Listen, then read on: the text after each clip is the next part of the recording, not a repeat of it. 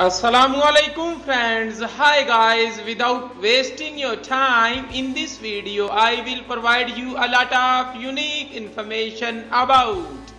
how to change Snapchat notification sound यानी कैसे आप अपने Snapchat का notification sound change कर सकते हैं तो आए वीडियो का आगाज़ करते हैं